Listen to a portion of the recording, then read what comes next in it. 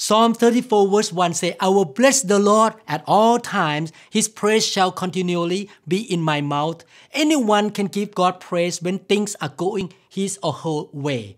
But the test is, will you praise Him in the wilderness?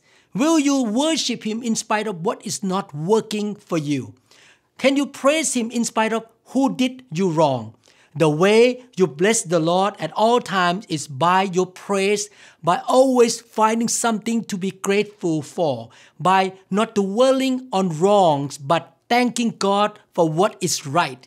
It's not by focusing on what you lost, but thanking God for what you have left. And by not complaining about what is behind you, but by being grateful for what is in front of you. I believe that if you can live a life of praise every day at all time, whether in a good time or bad time, the Lord will visit you. The Lord will perform miracle for you.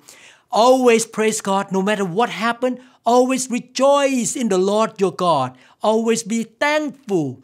Stir up the well of joy and the well of living water on the inside of you. And let the Holy Spirit rise up so that the living water will bubble inside you and you shall see the miracle.